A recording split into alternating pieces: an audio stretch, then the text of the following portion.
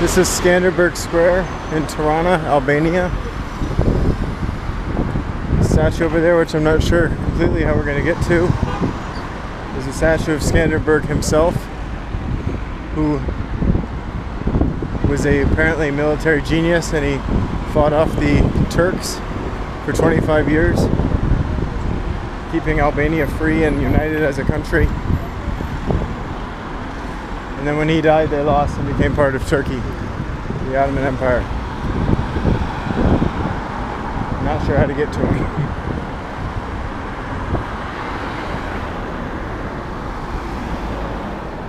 Very busy.